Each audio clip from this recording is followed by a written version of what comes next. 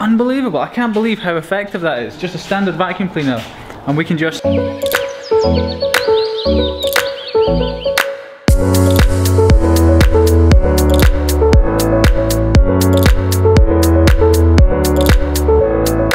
Okay, so down in the workshop, very briefly today, we have some tweezers there, getting very close on that project. Secondly, the thing I want to show you, this thing here.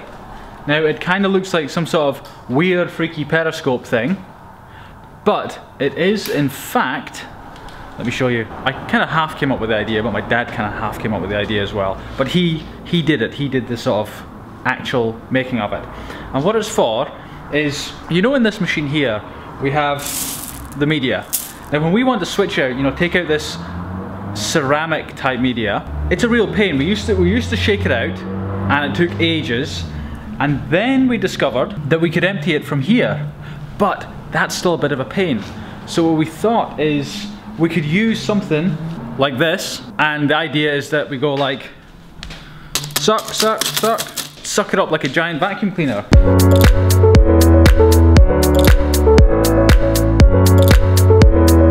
Basically, we attach my high quality but somewhat underused vacuum cleaner onto here and then we attach the other hose onto here so the air goes in here down through there and then out there but all the bits and pieces get dropped off and it's easier if I show you so my dad's away getting a part for it I think just now and then we'll get it set up up and running. But my dad assures me it's pretty fast. We can fill one of those buckets or empty one of those buckets in about a minute and a half, which means we should be able to do that machine in about five minutes, which is awesome.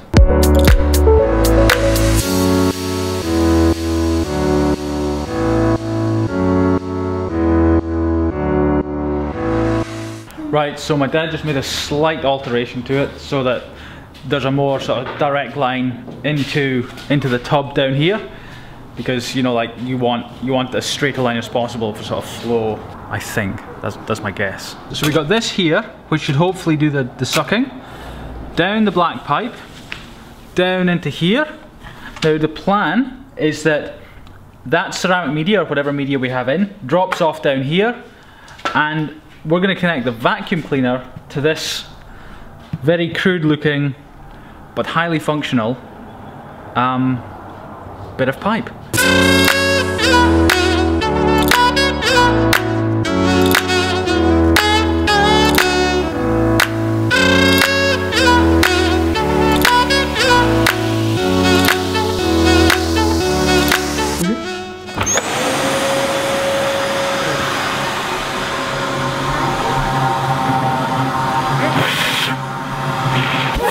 Oh yeah. It's working. Okay, I didn't actually know that much about this after all. We got to have the machine on. I just thought we just left it. Anyway.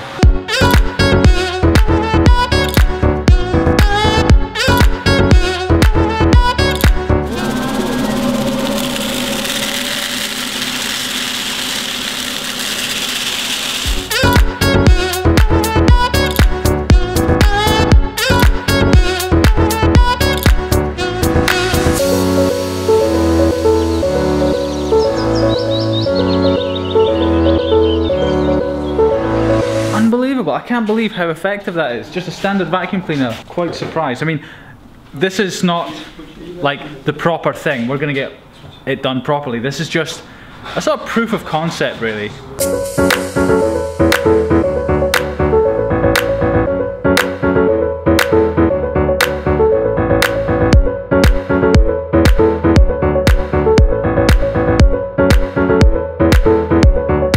Was the quickest empty we've ever done on the machine and we've not even made the proper one and optimized and whatnot. So that is that is very very something. Whatever it is it's it's very very. We've put the new media in. We're doing some more tweezers in that today. So we're going to set that running and then we're going to the cinema since I got my son for the weekend. Looking forward to that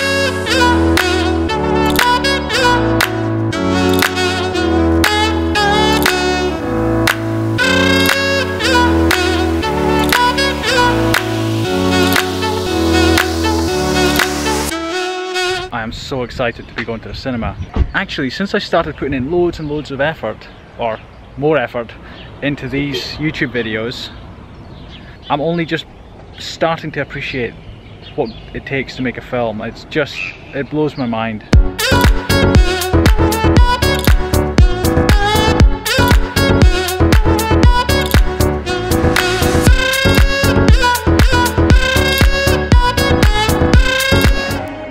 Dragon, that's the film we're watching. My criteria for films is I look on the website Rotten Tomatoes and I make sure it's got at least like 80, 85, 90% um, like on the tomato meter I think they call it. As long as it's as long as it's got a decent rating, I'll watch it. Less than that, I'm not watching it. This one had 87% I believe, so that's that's good enough for me.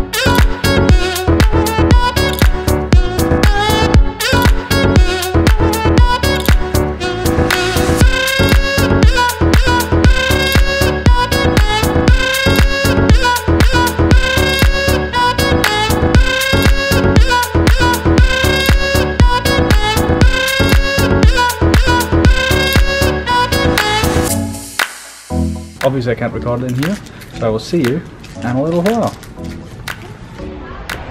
That film was pretty awesome. Right, lunchtime.